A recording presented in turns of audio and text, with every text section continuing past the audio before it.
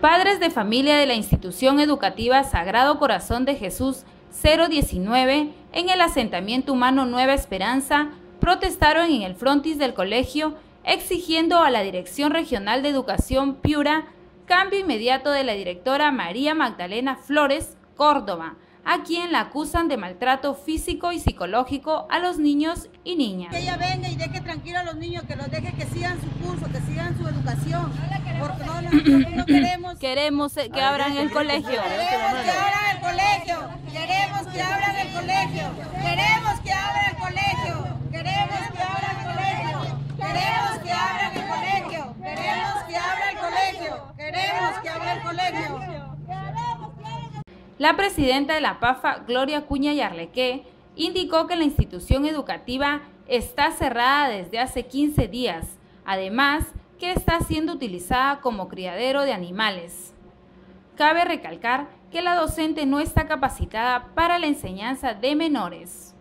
La madre manifestó haber sufrido agresión por parte de la docente. Nosotros lo que queremos es que agarre y tengamos un arreglo ya que nosotros nos han mandado la mujer a esta directora que se llama aquí como verán, María Magdalena Flores Córdoba.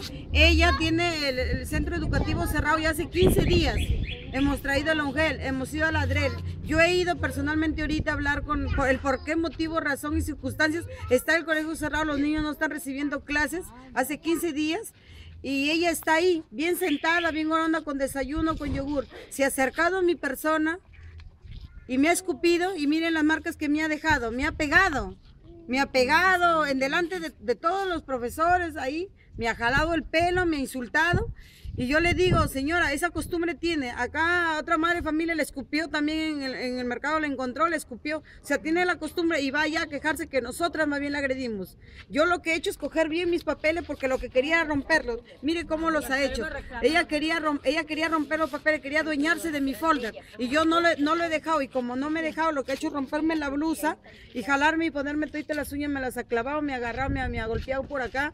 Y yo le digo, no es justo. Me he ido a la comisaría a denunciar ya tengo mi denuncia, porque yo soy madre de familia. Si yo le estoy pidiendo a la mujer, a la derecha, es para que nuestros niños sigan, sigan su curso de clases. Mercedes Michilot, una de las madres, manifestó que los niños eran castigados de manera brutal, ya que se les ponía ganchos de ropa en las orejas, además de recibir golpes por pedir ir a los servicios higiénicos. Ella, cuando los niños pedían pichi, ella los que hacían, las hacía que se orinen allí, no lo limpiaba y les pegaba a los niños, les ponía los ganchos de ropa aquí en sus orejitas y ahí los dejaba y ella se iba, los dejaba allí los niños hasta la hora que salían, a las 12 del mediodía.